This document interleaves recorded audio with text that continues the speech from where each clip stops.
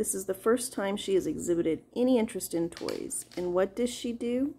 She immediately finds the holes Solomon's created and she proceeds to start destuffing the toy.